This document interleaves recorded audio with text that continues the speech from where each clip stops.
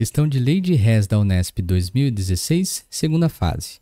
Em 1840, o cientista Germain-Henri Hess enunciou que a variação da entalpia, o ΔH, em uma reação química é independente do caminho entre os estados inicial e final da reação, sendo igual à soma das variações de entalpias em que essa reação ela pode ser desmembrada. Bom, diz a Unesp que durante um experimento envolvendo a lei de Hess, através do calor liberado pela reação de neutralização de uma solução aquosa de ácido cianídrico, HCN, e uma solução aquosa de hidróxido de sódio, NaOH, foi obtido um valor de 2,9 kcal por mol a entalpia nessa reação.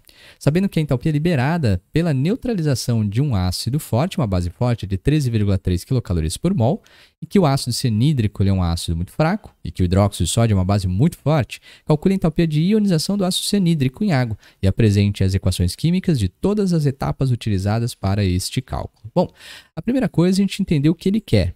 Ele quer que nós aí calculemos o valor da entalpia do processo de ionização do ácido cianídrico, que é um hidrácido muito forte, como todo bom hidrácido, muito volátil, apresenta um odor característico de amêndoas amargas e muito tóxico. É? Ao ser adicionado em água, ele vai quebrar a ligação hidrogênio com carbono aqui, num processo conhecido como ionização, e vai gerar o íon H+, característico dos ácidos diarrênios, e também o ânion Cn-. Nós temos aqui o ácido cianídrico, hídrico vai para eto, então nós temos o cianeto. Este é o ΔH, na verdade é o ΔH deste processo que ele quer que a gente faça o cálculo. Note que pela equação que a gente acabou de montar, nós vamos precisar ali calcular tanto ou vamos precisar chegar nas equações a íon H+ e Cn-, através dos dados que ele fornece aqui no texto. O primeiro dado que a gente pode trabalhar é com este de 2,9 calorias da neutralização do HCN com NaOH. Então, bora lá, vamos trazer para cá tem informações importantes em relação a isso. Ele mesmo nos indicou que o HCN é um ácido muito fraco enquanto a base, o hidróxido de sódio, que é utilizada para fazer aí sabão no processo de saponificação com óleos e gorduras, é uma base muito forte. Do sal ele não nos contou nada, mas a gente sabe que todo sal de sódio ele é um sal bastante solúvel. Sendo assim, aqui vai acontecer uma reação de dupla troca, ó, positivo de um vai com negativo do outro, para a formação do sal e água. Né? A gente sabe também que tudo aquilo que é fraco prefere ficar junto, e é por isso que este ácido ele é classificado como fraco. Ele não gosta de se ionizar muito, ele prefere ficar na sua forma molecular ao invés de gerar íons H+. Mas a base, por ser forte, ela prefere ficar separada, bem como o sal, como é um sal solúvel, todo sal que é solúvel ele prefere ficar separado, tudo bem? Para que isso? Lembra que nós precisamos chegar em íons H+, e Cn- no processo de ionização. Se a gente considerar quem é forte e quem é fraco, nós podemos reescrever essa equação na forma iônica. Ó, tudo que é fraco fica junto, então deixar o HCN juntinho. Tudo que é forte e solúvel prefere ficar separado. Na aqui, OH-, tá?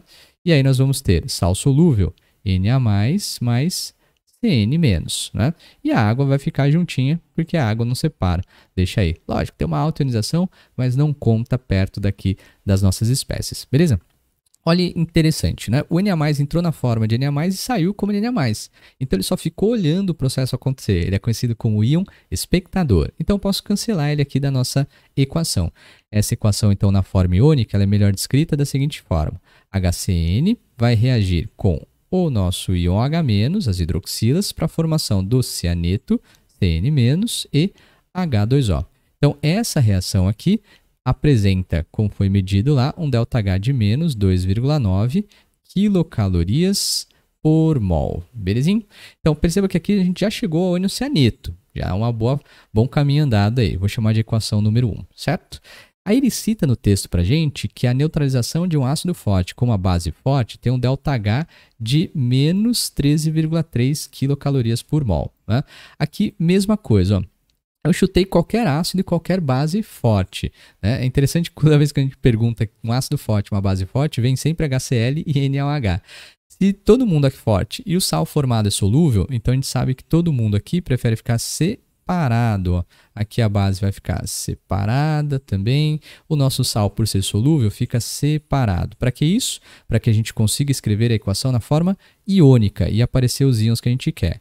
HCl prefere ficar aí separado. Hidróxido de sódio, como a gente já tinha visto, prefere ficar separado. O sal, que é solúvel, também prefere ficar separado em Na e Cl-. E a água, a gente sabe que vai ficar na forma de H2O. Tem o espectador? Tem. Então vamos cancelar. Ó, Cn- entrou na forma de Cn- e saiu igual. Então cancela, só ficou olhando a espectador. Né? O Na- entrou na forma de Na+, saiu igual, então é espectador. O que nós temos efetivamente reagindo é o íon H+, que veio do ácido forte, com a base que ou a hidroxila que veio da base forte para a formação de aguinha, H2O. E esse é o ΔH de neutralização de ácidos fortes e bases fortes, que é 13,3 kcal para qualquer ácido e bases fortes. Né? Então essa é a equação, equação número 2. Perceba que aqui eu já consegui um íon H+, então já está numa vantagem. Na equação anterior a gente tinha conseguido Cn- e agora a gente conseguiu o H+, certo? Então eu vou trazer para cá as informações que a gente já tem. Ó. A pergunta, a gente aí traduziu do texto, ele quer saber qual é a entalpia da ionização do HCN. Né? A gente, através do dado, conseguiu esta primeira equação e a segunda equação. Nós vamos, através da lei de Hess, manipular essas duas equações para chegar na equação aí da pergunta, a equação ali em vermelho. Como é que a gente faz isso? Olha para a pergunta, perceba que antes da seta, no reagente, eu preciso de HCN. Qual das duas reações nós temos o HCN? A primeira. Né? Então, eu já vou trabalhar com ela. Segunda coisa, o HCN está do lado do reagente e aqui na primeira equação também está do lado do reagente. Então, eu vou apenas manter, né? eu vou manter aqui a equação número 1, certinho? Bom, segunda ou terceira coisa agora, quantos mols de HCN eu preciso? Então, aqui o HCN tem apenas um mol, então não preciso multiplicar nem dividir a equação número 1. Nós vamos ficar aqui com HCN, então, só copiá-la, né? vai reagir com OH-, formando, então, ânion CN-, que é o cianeto, esse aqui que mata e mata fácil, né? reage aí, então, para a formação de água. Como a gente só manteve a equação, não fizemos nada com ela, copia também aqui o ΔH com o seu sinal bonitinho, né? Tá aqui 2,9 kcal por mol. Legal. Aí nós precisamos, não tem mais ninguém aqui do lado do reagente, a gente precisa ir lá para o produto. No produto eu preciso do H+. Mas esse H+, na equação da pergunta aqui, está lá do produto. H+, tem na segunda equação, mas ele é reagente, mas eu preciso dele no produto, mas ele está no reagente, não tem problema. A gente vai simplesmente inverter, então inverte aqui a equação número 2. O que era produto vira reagente, o que era reagente vira produto. Então a água está do lado daí do produto, vem aqui para o lado do reagente. Né? E aí nós vamos para o H aqui e o H-. Ah, lembrando, nós temos apenas um de H+, e aqui tem um H+. Então, não precisei multiplicar nem dividir a nossa equação. O ΔH aqui, como a gente inverteu, era menos, passa a ser mais, 13,3 quilocalorias por mol. Bom, agora vamos ver quem é que dá para cancelar dessas duas equações. Ó. O H- cancela com o H-, beleza? Dá para cancelar mais alguém aqui? Dá. H2O cancela com esse outro H2O e a gente então vai fazer a reação que ele quer. Vou chamar aqui de equação global, que é a equação da pergunta então. Né? Nós temos do lado do reagente o HCN, torce para dar certo. Essa é a vantagem da lei de Hess. Se a gente somar as equações aqui que a gente manipulou e não deu a equação da pergunta, alguma coisa a gente fez aí de errado no meio do caminho. Antes da seta não tem mais ninguém, depois da seta sobrou na segunda equação o H+, e também sobrou Cn- ali na primeira equação. Ufa, chegamos na equação. Perfeito. Né? Sendo assim, a gente vai calcular o ΔH da reação global, chamar aqui de G de global, certo? Que vai ser igual ao ΔH, vou chamar aqui de 1 e aqui de 2. Ó. O ΔH1 mais o ΔH2 vai nos dar o ΔH solicitado. Então, ΔH aqui, substituindo os valores, vai ser igual a menos 2,9, certo? Mais aqui mas cuidado sempre com o jogo de sinal lá. Muita gente acaba errando com aí, esses sinais. Né? Pode parecer besteira, faz tudo certinho. Quando chega na hora de fazer o cálculo, erra aí do positivo com o negativo, seja lá o que for. Então nós vamos ter aqui um ΔH da reação global equivalente. Bom, vai dar positivo aqui, então mais 10,4, se eu não errei nas contas, quilocalorias por mol, certo?